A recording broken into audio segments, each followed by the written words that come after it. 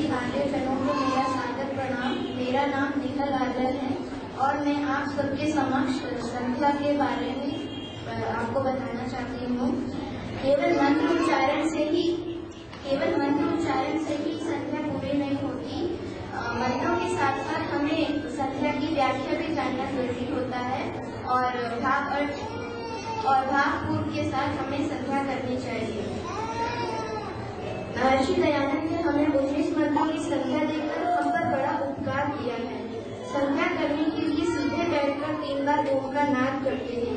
तत्पश्चात गायत्री मंत्र से हम संख्या प्रारंभ करते हैं। ओम तत्सवितुर्वरेण्यं भर्गो देवस्य धीमहि धियो यो नः प्रचोदयात्। ध्यान को इधर उधर से हटाकर हम ईश्वर में लगाते हैं। इसके बाद आचमन मंत्र। ओम शनो देवी रविश रहे, आपो भवन तो पी रहे शनो रवि श्रवण सुना बोल कर तीन बार आचमन करते हैं। सब सब आनंद, सबको आनंद लेने वाला परमेश्वर हम पर सदा सुख की वर्षा करे, उसकी प्रार्थना करते हैं। उसके बाद अंग स्पर्श राइट हैंड में जल लेकर लेफ़्ट हैंड की मध्यमा और अनामिका उंगलियों से हम अंग स्पर्श करते हैं। अंग स्पर्श करते हैं। इन इंद्रियों में हम बल और बोझ की ईश्वर से प्रार्थना करते हैं। उसके बाद मार्जन मंत्र, फिर से लेफ़्ट हैंड की उंगली में लेफ़्ट हैंड के हाथ हथेली में जल लेकर राइट हैंड की बीच की दो उंगलियों से हम ईश्वर के नाम के साथ अनुमार्जन करते हैं। ओम भू पुना तु शिरसि, ओम भुव पुना तु नेत्रयो, ओम स्व पुना तु कंठ ओम मह पुना तु हृदय, ओम जन पुना तु नाभ्याम ओम तप पुना तु पादयो, ओम सत्य पुना तु पुनः शिरसि, ओम खम्रम पुना तु सर्वत्र। सभी हम पवित्र हों, इसकी कामना करते हैं। उसके बाद प्राणायाम मंत्र। ओम भू तप ओम सत्यम बोलकर कम से कम तीन बार प्राणायाम करते हैं अंग प्रतिअंग में जो दोष होते हैं, उन्हें स्वच्छ तथा साफ़ करते हैं।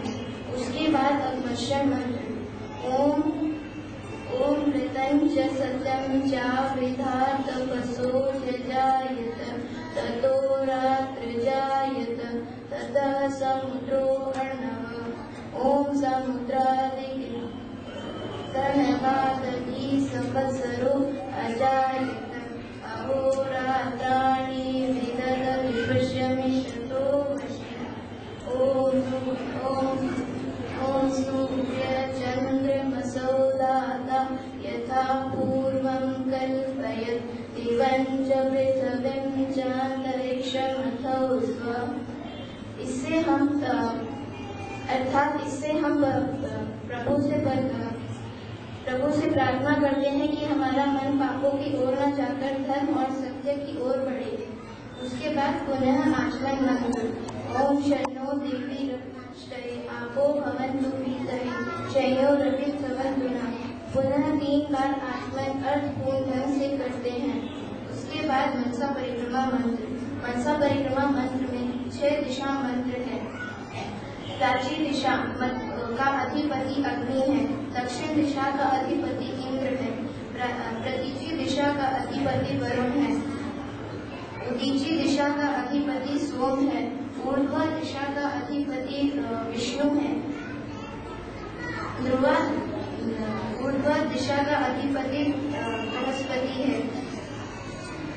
तीन हर एक दिशा में प्रभु को साक्षी मानकर अपने को अपने को सुरक्षित जानकर हम प्रभु से प्रार्थना करते हैं तथा मन को एकाग्र करते हैं। यहाँ हमारी बहिरंग विधि पूरी होती है। यम, नियम, आसन, प्राणायाम, प्रत्याहार के द्वारा हम शारीरिक क्रिया पूरी करते हैं और आगे बढ़ते हैं, यानी कि अंतरंग में प्रवेश। उपस्थान मंत्र। ओम उद्वयम तमस्परी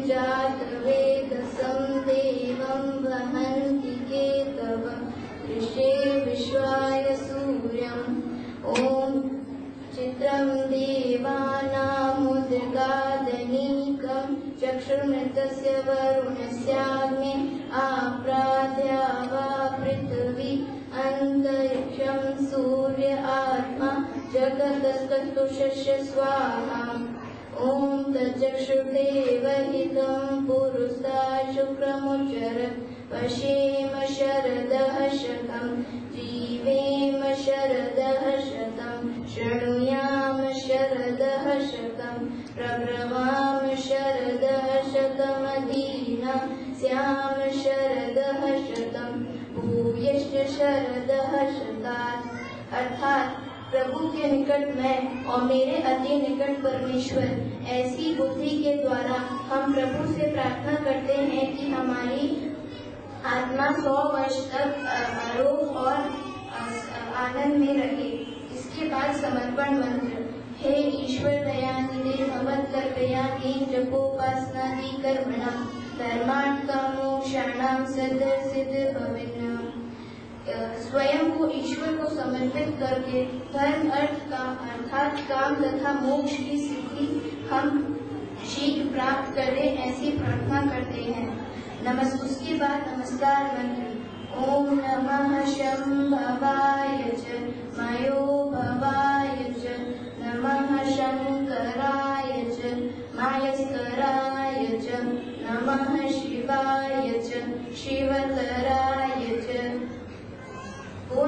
परमेश्वर को बार बार प्रणाम करते हैं। ओम शांति शांति शांति।